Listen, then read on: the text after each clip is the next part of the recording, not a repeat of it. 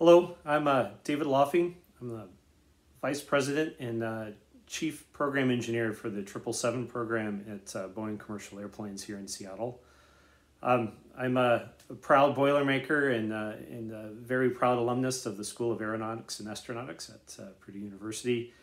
Um, just want to send a very uh, warm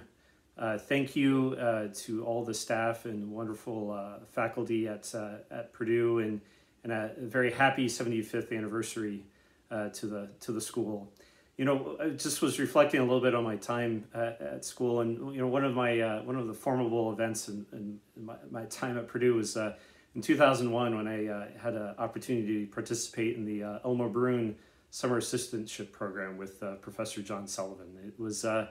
was a project of looking at uh, an airfoil design and uh, for uh, for an application for a, a, Mars a Mars airplane or uh,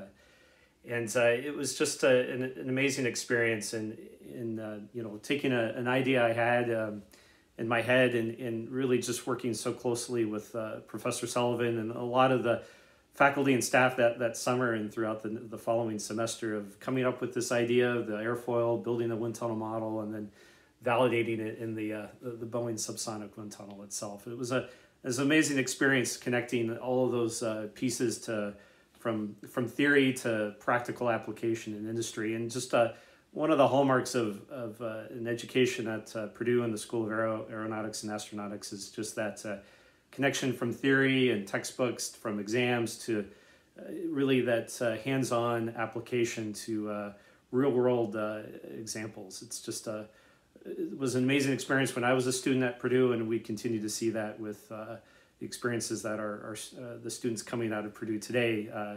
get to see and even more. But uh, again, wishing you all the very best and the happiest 75th anniversary, and uh, boiler up.